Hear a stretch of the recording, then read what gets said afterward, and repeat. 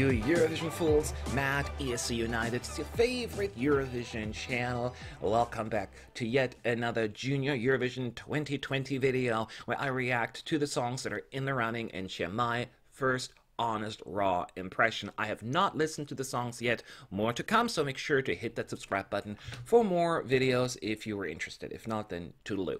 But anyway, the next country on my list is Ukraine, the country that has had an amazing track record at the adult version winning twice, never failed to qualify from the semis, and they have, from what I can see, a pretty darn good record at junior as well. I've only been following junior, this is the third year I'm watching it. So um, bear with me. I don't know all of the history on that one, but the song this time around, I love this song last year. Um, it is Vitkriai.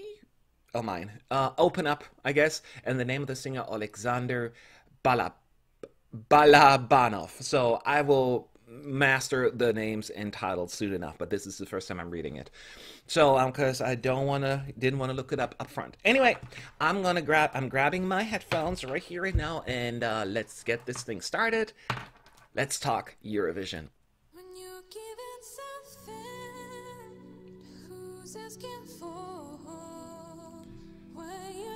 Okay, that was throwing me off because he had that very high voice, and you see girl. I'm like, Alexander is a, a girl? But now they threw us to a loop here.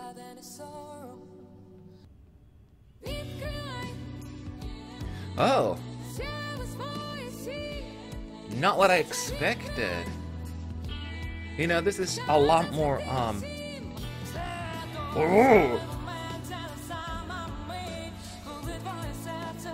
Not what I expected at all. This is very, like, soulful and, like, jazzy-ish.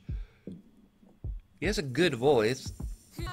I'm worried because he's at that age where his voice may break soon.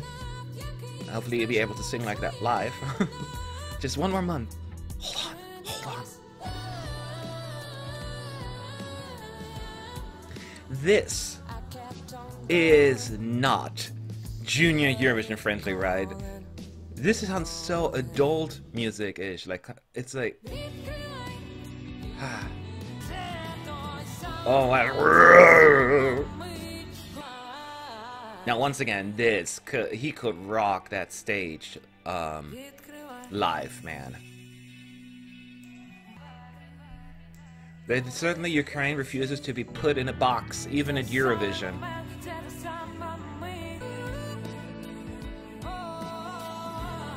I think this is a dark horse a little bit, isn't it? I gotta. Wow, this is my kind of music. Huh. Wow, this is was over quick. Wow. So, so, so, so, what are my thoughts on this one? Now, it's as I said, not junior Eurovision, right? When you hear this, do you think, oh, that's a junior Eurovision song? And some people are saying, well, Matt, there is no such thing as music for junior Eurovision. To me, there is because there's a reason why that's separated from the adult version. so this is not what I expected to hear. His voice, by the way, totally, totally suits the style. Right, and the genre. So that was a great match there.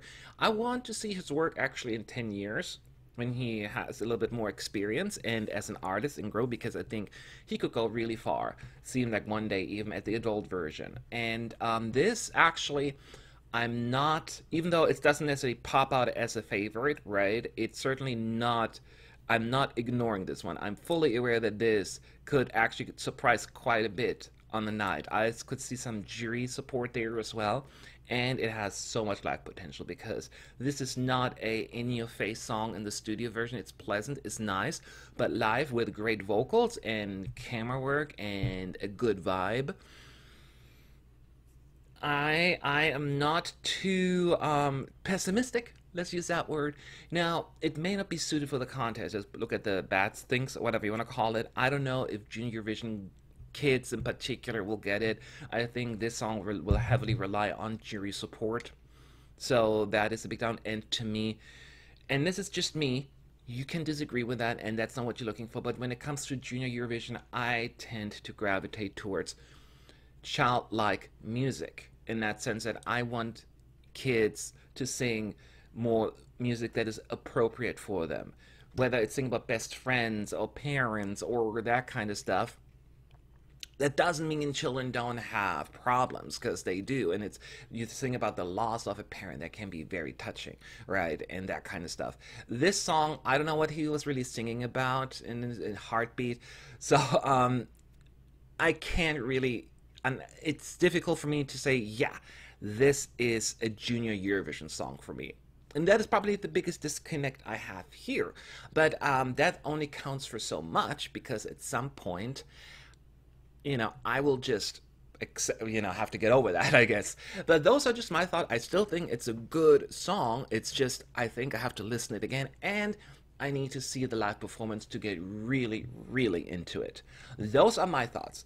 How do you feel about it? Leave your thoughts below in the comment section. I would love to hear from you. Good luck to Ukraine. Good luck to all of the participants. And I will see you in the next video.